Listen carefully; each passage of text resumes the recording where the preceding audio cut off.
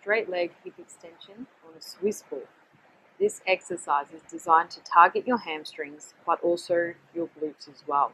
It's important that you keep your ribs down, locked on nice and tight to avoid overarching through the lower back.